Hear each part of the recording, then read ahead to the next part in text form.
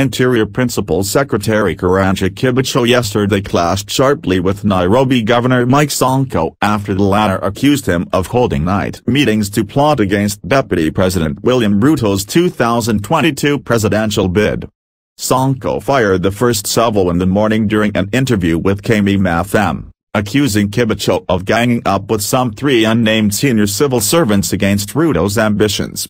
He alleged that four top officials in President Uhuru Kenyatta's administration have been claiming that the Kikuyu community will not support Ruto at the next general election but did not disclose how he had come to know of it. Yesterday, Kibicho, who is in charge of the intelligence and security portfolio headed by CS Fred Matiang'i, denied attending or organizing any night meetings to derail Ruto's presidential bid. We don't do night meetings and if we did, I would tell you. Nobody is trying to fight the DP but there is a cartel of people who always act like they are his protectors. I run the intelligence of this country and there are no such meetings, said Kibicho. For now I can only name two. Kibicho and Nancy Gitau.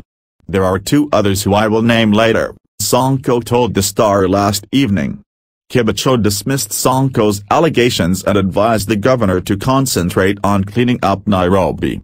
Tell Sonko to man up and address the people he wants to address but not through me. He should address that person directly because that's what men do. I am not a politician and neither would I be politicking around the DP, Kibicho said angrily. Kibicho claimed that his differences with the city-county boss started when he stopped the farmer from flying two flags on his official vehicle recently. Our problem started when he tried to fly two flags like the president and because I am the interior PS, I am responsible for making him remove the flags. When you are drowning, you hold on to everything including straws. Tell him to leave Kibicho alone and start cleaning Nairobi, he said. Sonko also accused Kibicho of dictating to him whom he should nominate as the next deputy governor of Nairobi.